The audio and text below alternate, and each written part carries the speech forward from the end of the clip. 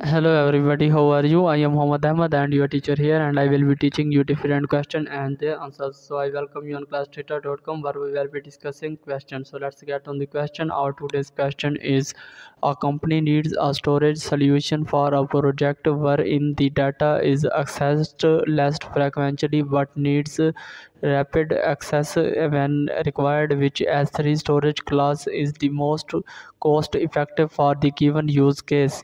The correct answer of the question Amazon S3 standard infrequent access S3 standard IA so that's the correct answer of the question. If you have any question just leave a comment. I will be answering you as soon as i can. Thank you very much for watching the video. Please don't forget to like share and subscribe our channel. Until next question. Bye bye